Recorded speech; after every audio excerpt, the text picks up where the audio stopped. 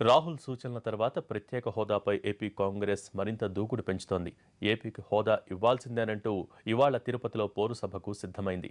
మధ్యాహ్నం జరిగే ఈ సభతో టీడీపీ బీజేపీ చేసిన నమ్మక ద్రోహాన్ని బట్టబయలు చేస్తామంటోంది ఏపీ కాంగ్రెస్.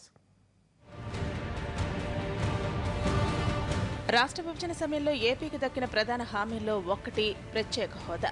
కానీ స్పెషల్ స్టేటస్ ఊసేలేదంటూ కేంద్రం ఈ మధ్య కుండబద్దలు కొట్టేసింది. కేంద్ర ప్రకటన ఏపీకి వర్తించదని ఒకరిద్దరు కేంద్ర మంత్రులు చెబుతున్నా హామీ అమల్లో ఆలస్యం జనాల్లో మాత్రం అసహనాన్ని పెంచుతోంది.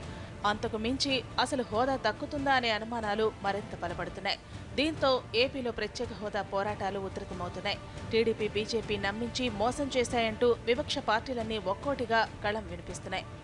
రాష్ట్రాలకు ప్రత్యేక హోదా ఇచ్చే ఉద్దేశమే లేదంటూ కేంద్రం ప్రకటించిన వెంటనే AICC vice president Rahul Gandhi కూడా మోడీ ప్రభుత్వంపై మండిపడ్డారు.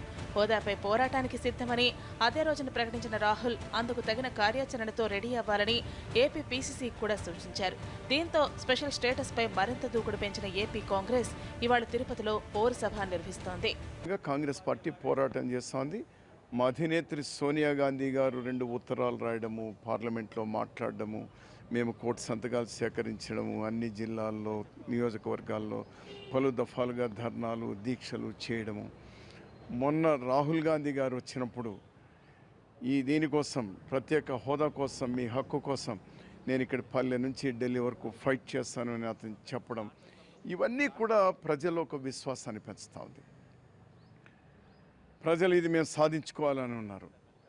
అందుకోసమే కాంగ్రెస్ పార్టీ ప్రారంభం చేసిన ఈ ఉద్యమాన్ని ఈరోజు అన్ని పార్టీలు అన్ని రాజకీయ పార్టీలు ఈరోజు ప్రత్యేక హోదా సాధించాలి అనేటువంటి ఒక ప్రధానమైనటువంటి అజెండాకు ఈరోజు ఫిక్స్ అయ్యేటువంటి పరిస్థితి వచ్చింది.